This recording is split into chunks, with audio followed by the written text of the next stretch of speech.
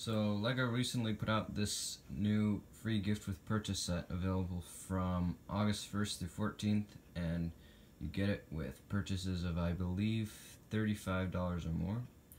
And it's this plants from plants set. So basically what that means is LEGO is trying out this new plant-based material for their LEGO bricks instead of ABS and um, I, I like that. I like that LEGO is in general doing a lot to stay green and stay environmentally friendly. You know, they have that logo, that mix from reliable sources here. And also, they're trying to make it so that a lot of their energy comes from renewable sources. So I think that's great. That's that's the thing I like about Denmark in general is that a lot of their power comes from uh, offshore wind farms actually. But anyway, we're going to open this up and see what is inside. 29 assorted plant pieces. You can see, they show you what pieces are included, as well as some ideas for what you can build with it. Grayed out so that you don't think it's included in the set.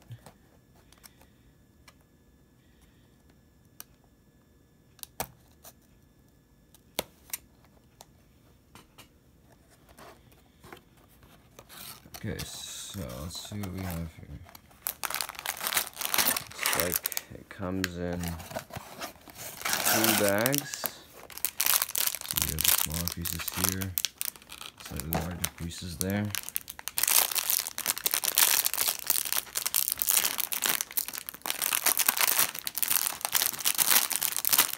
Got some bushes, some small trees well as some of these larger leaves. And here we have some smaller green leaves.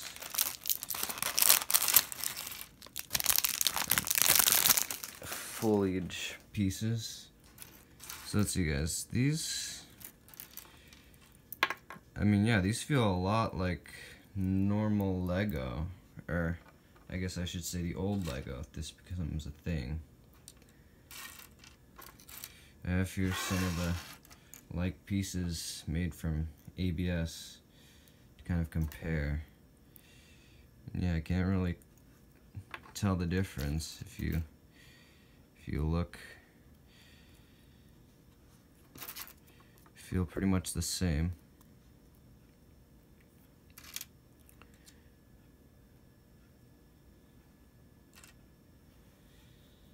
So um, I think the big question here is going to be, are these new pieces going to be as strong or as durable?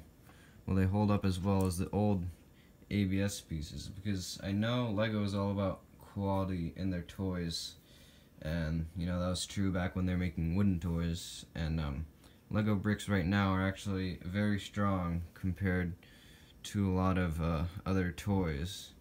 So uh, I think that that's what Lego is trying to see here using these new plants from plants set.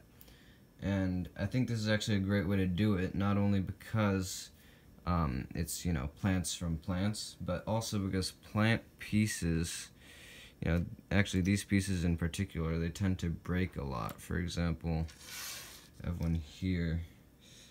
You can see the places where these leaves these leaves have broken off. Just like that. So, and you know, plant pieces in general tend to have a lot of thin parts. For example, this one too. This one is broken off. It's pretty disappointed about that. So, uh, I think that's going to be interesting to see. And yeah, that's it for the review.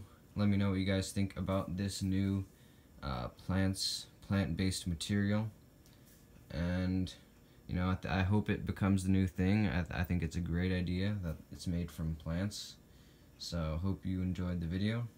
And that's it. Bye